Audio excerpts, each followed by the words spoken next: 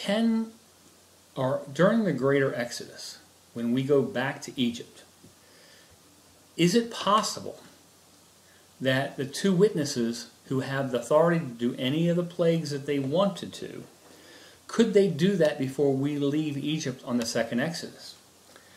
And it certainly appears that way. It's certainly because we only, it looks like as I read through the plagues, they happen one day after the other.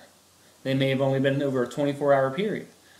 Um, now, the blood and the boils, sorry, the blood and the darkness are the only ones that have a time frame greater than what it appears as one, excuse me, is one day.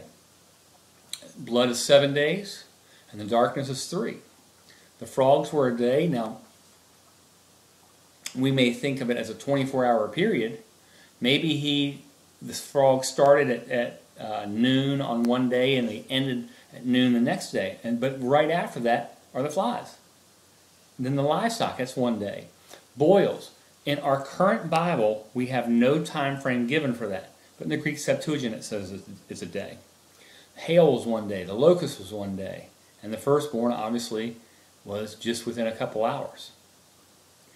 Um, so again, I'm coming to a total here of 18 days.